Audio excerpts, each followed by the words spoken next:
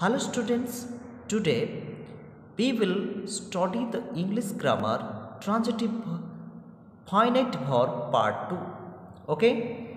In the previous video, we studied the classification of verb and classification of finite verb and definition and the definition of object, direct object and indirect object. Okay? In this video, we will uh, we are going to study about the complement. In this video यानी इस video में हमने हम अभी complement के बारे में पढ़ाई करेंगे। So at first we will study what is complement complement क्या है? हम पढ़ेंगे ठीक है? A complement is a word clause और phrase that is needed to describe the object और object of sentence okay complement वो होता है वो एक वर्ड होता है क्लॉज होता है और फ्रेज होता है okay and that is needed to describe the subject उस सब्जेक्ट को डिस्क्राइब करता है ऑब्जेक्ट को डिस्क्राइब करता है ऑफ़ ए सेंटेंस सेंटेंस में ऑब्जेक्ट और सब्जेक्ट को वो डिस्क्राइब करता है ठीक है that means complements typically follows linking words complement जो होता है, वो लिंकिंग वर्ड को फॉलो करता है। लिंकिंग वर्ड मीन्स अब जो the verb which does not do action यानी जिस वर्ब में आपको एक्शन नहीं होता है, हम उसको लिंकिंग वर्ब बोलते हैं। आप पहले से पढ़ते होंगे, ठीक है? So complements is mainly there are three kinds of complement subject complements verb complement and object complement हमने ऑब्जेक्ट के बारे में कल पढ़े थे कि the direct object in indirect object there are two kind of object है ऑब्जेक्ट होता क्या है? The word which receives the action of the subject is called object हमने वही पढ़े थे कि जो वर्ड आपको वर्ब यानी एक्शन को रिसीव करता हो, हम उसको ऑब्जेक्ट बोलते थे. बट हियर द कम्प्लीमेंट्स हम पढ़ेंगे। Complements mean it is not the answer of the question what और होम ये कॉम्प्लीमेंट जो होता है, वो वाट और होम का आंसर नहीं होता है। ठीक है? So at first we will study about the subject complement subject complement होता क्या है? Subject complement can be a noun ये एक नाउन हो सकता है। An adjective and a single word और ए ग्रुप ऑफ़ वर्ड्स वो एक एडजेटिव हो सकता है, एक सिंगल वर्ड हो सकता है और ग्रुप ऑफ़ वर्ड होता है।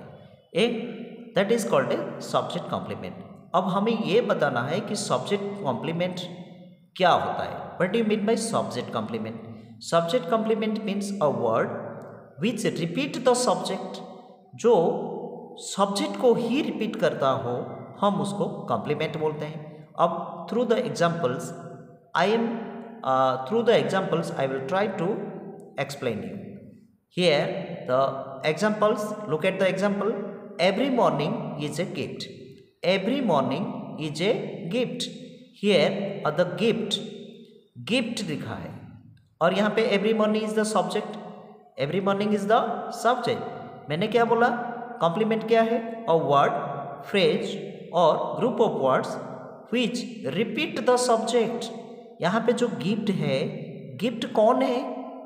एवरी मॉर्निंग है। Every one is a gift मतलब गिफ्ट जो है, वो एवरी मॉर्निंग है। और एवरी मॉर्निंग एंड गिफ्ट ये दोनों एक ही है। और इसलिए ये जो a gift repeat the subject every morning इसलिए हम उसको बोलेंगे कॉम्प्लीमेंट तो कॉम्प्लीमेंट का मतलब वही होता है, जो सब्जेक्ट को रिपीट करता हो तो उसको सब्जेक्ट कॉम्प्लीमेंट बोलते हैं। और जो ऑब्जेक्ट को रिपीट करता हो, उसको ऑब्जेक्ट कॉम्प्लीमेंट बोलते हैं। तो हम अभी सब्जेक्ट कॉम्प्लीमेंट के बारे में पढ़ाई कर रहे हैं। We are studying about the subject complement here a gift ये जो गिफ्ट है, वो एवरी मॉर्निंग को रिपीट करता है। तो यहाँ पर a gift is a subject complement and is is the linking word is is the linking word यहाँ पे इज़ जो होता है, वो कोई एक्शन नहीं होता है। ठीक है? द एक्शन अगर हो जाता है तो दैट इज़ कॉल्ड है आपका फाइनेट यानी मेन वर्ब हो जाता है but here the he is the linking verb okay I am a writer I am a writer writer means यहाँ पे लिखोगे तो फिर राइटर कौन है? आई है तो आई एंड राइटर वो दोनों एक ही पर्सन है. That means writer repeat the subject I so that is why it is complement and am is the linking for Mohini is a gifted singer यहाँ पे gifted singer and Mohini both are same person so यानी gifted singer means Mohini. यानी gifted singer repeat the subject Mohini. That is why it is a subject complement okay the person you are looking for is me the person who you are looking for एक आदमी जिसको तुम देख रहे हो is me तो me and the person okay ये आपका सब्जेक्ट है तो me repeat the subject the person you are looking तो जिसको आप देख रहे हो, उसको आप, वही आदमी मैं ही हूँ मतलब ये दोनों एक ही पर्सन है तो दैट इज़ वाई यहाँ पे me is the complement okay here next example Mary looked frustrated frustrated who is frustrated Mary तो Mary and frustrated both are same so that is why this is subject complement and linking verb is looked looked में से भी आपका कोई, आपका action word नहीं होता है. मेरी लुक्ड मीन मेरी दिखती थी. तो दिखती थी, लेकिन मेरी कौन सा एक्शन कर रही है यहाँ पे? इसमें से पता नहीं चल रहा है. ठीक है? So it is called a linking verb she seemed nice वो अच्छी है. मैंने वो अच्छी लगती है अच्छी लगती है नहीं अच्छी लगती थी नाइस तो नाइस कौन है सी है तो she is the complement a subject complement he appear smart मानी वो स्मार्ट दिखता है ओके स्मार्ट कौन है ही ही है तो smart and he both are same person तो smart repeat the subject he तो that is why smart is the complement okay तो आप समझ में आ गया होगा Okay I hope you understood that what is subject complement and how you will find the subject complement okay next हम पढ़ेंगे we will study about object complement object complement can be of or complement the object of sentence. Object complement can also be a noun, an adjective, a single word or a group of words. तो object complement क्या होता है? Simply ये डिफिन define के ऊपर मत जाओ। सिर्फ़ मैं ये बताता हूँ object complement repeat the object like the object subject complement repeat the subject सब जो सब्जेक्ट कम्प्लीमेंट क्या होता था? सब्जेक्ट को रिपीट करता था। But here the object complement repeat the object यहाँ पे एक ऑब्जेक्ट भी आएगा और उसको रिपीट करेगा। उसको हम बोलेंगे object complement through the examples I will tell you so you will understand clearly आप अच्छी तरह से समझ लोगे एग्ज़ाम्पल के साथ so look at the teacher selected him the monitor here the teacher is the subject because the teacher work करता है he does the work, he does the action. So here the teacher is a subject. Selected is verb, that is action verb.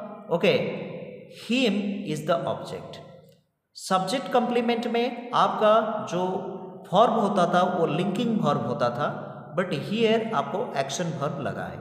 यहाँ पे selected is the form and him is the object and the monitor is the object complement यानी him and the monitor both are same person here the monitor repeat the object him यानी him कौन है?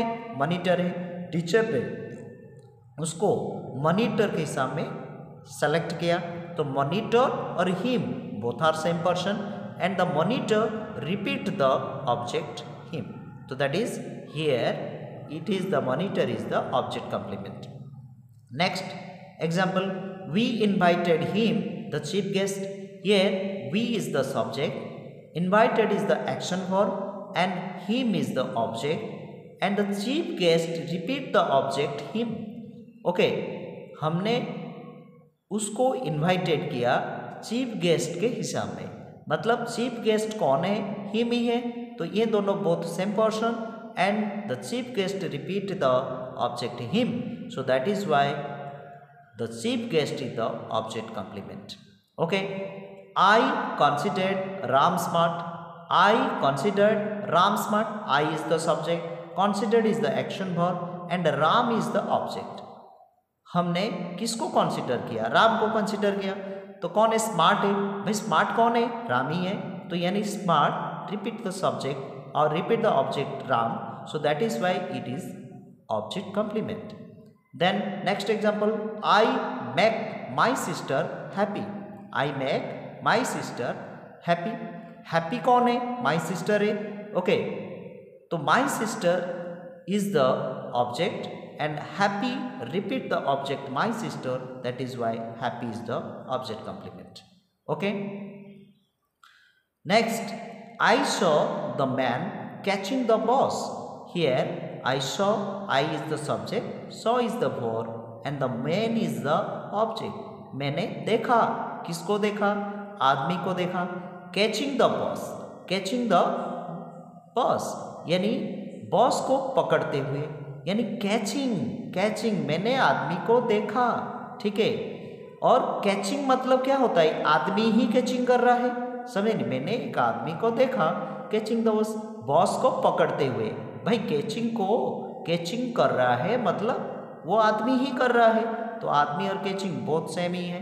तो that means यहाँ पे आपको catching is the object complement and the man is the object तो I hope you understand about the object complement, how we will find object complement.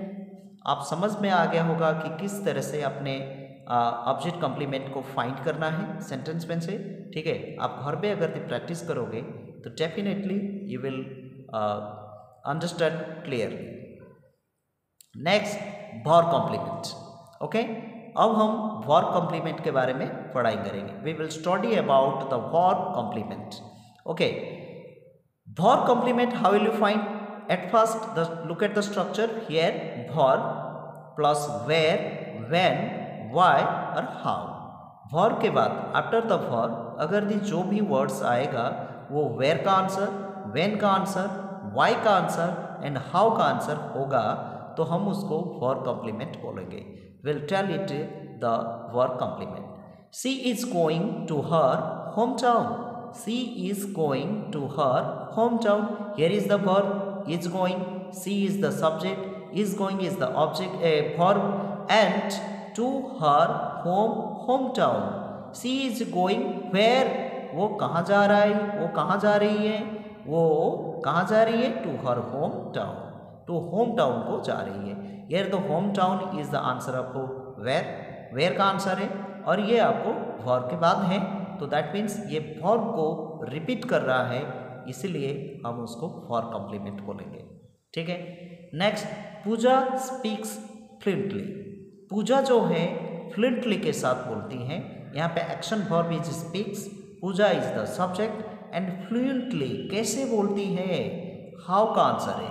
Pooja speaks how Pooja speaks fluently यानी the fluently is a word which is the answer of how and it repeat the verb speaks कैसी बोलती है? Fluently के साथ बोलती हैं तो that is why it is the war complement Radha will come on moon on Monday और next week Radha will come on Monday और next week Radha will come will come is the for action for Radha is the subject आएगी, कब आएगी? When when का answer है? On Monday और the next week that is why it is the for complement he run away from the college okay he run away वो भाग गया। कहाँ भाग गया? वेयर का आंसर है? अवे फ्रॉम द कॉलेज यानी ही रन वेयर वो कहाँ भागा? ना वेयर का आंसर आ रहा है? अवे फ्रॉम द कॉलेज यानी कॉलेज से बहुत दूर भाग गया। तो here war complement is away from the college I hope we under You all understood about the complement. In the next video, I am going to tell you that about the transitive form. Okay, I will uh, explain you what is transitive form and uh, about auxiliary form. Okay auxiliary for के बारे में भी मैं आपको पढ़ाऊँगा और transitive फॉर के बारे में भी पढ़ाऊँगा ठीक है